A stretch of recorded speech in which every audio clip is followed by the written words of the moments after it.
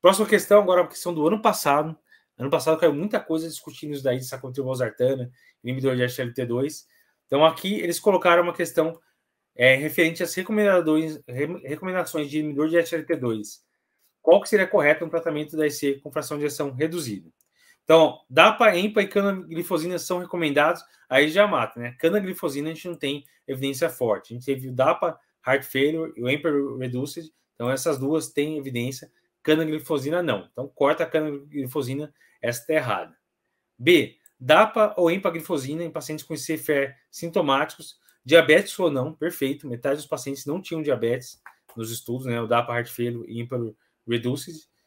Usar com a dose máxima tolerada de beta-block, espirono, IECA, ou BRA, ou INRA. Teve pacientes usando sacubitril valsartana mais dapaglifosina, por exemplo, para reduzir morte cardiovascular, hospitalização, hospitalização por IC ou progressão de disfunção renal. Perfeito. Isso aqui é exatamente o resultado do estudo DAPA Heart Failure e juntando o resultado do estudo DAPA CKD, que é o estudo que testou DAPA glifosina em pacientes com doença renal crônica, mostrando que diminui a chance de desfecho renal. Então essa aqui está perfeita. Não precisa ser diabético para usar inibidor de SGLT2. E uma dúvida muito frequente, né? Mas eu vou usar, o paciente vai perder um monte de glicose vai fazer hipoglicemia. O risco é muito baixo, na verdade, foi semelhante ao placebo. Se o paciente não tem uma glicemia muito alta, não vai perder tanta glicose assim, o corpo consegue regular. Então, EMPA e dapaglifosina são medicações do cardio, da IC, não é só de, de paciente diabético. Tem que guardar isso na cabeça. Vamos ver por que as outras estariam erradas. Né? DAPA ou EMPA devem ser utilizados como medicação antidiabética de segunda linha com metformina. Isso era o que falava-se antes, né? Metformina seria a primeira linha, depois, por uma questão de segurança, depois as outras.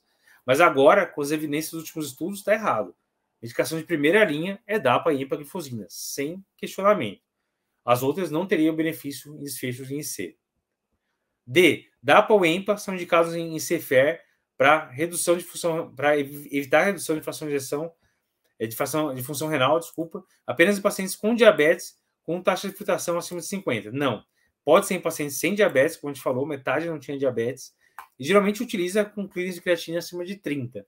EMPA, às vezes até acima de 20, você acaba utilizando é, para esses pacientes. Então, essa está errada.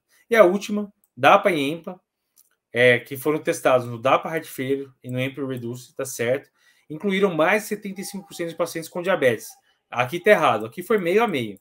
Metade dos pacientes eram diabéticos, metade não tinham diabetes. Eles avaliaram os dois grupos separados e o benefício foi o mesmo. Então, mesmo para aqueles que não tinham diabetes, o benefício foi igual. Então, alternativa certa aqui, sem dúvida, é a alternativa B.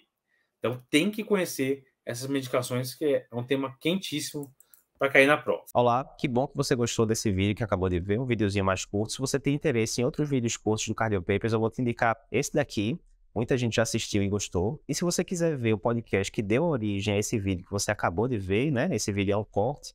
Para ver o episódio completo, clica aqui na esquerda e você vai conseguir ver o episódio completo do podcast.